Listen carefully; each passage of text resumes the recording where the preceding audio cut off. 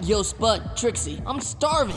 Jake, enjoy some delicious vegetables. Try them all and discover your favorites. Thanks, creepy old dude, but I like my veggies cooked. No problem, Spud.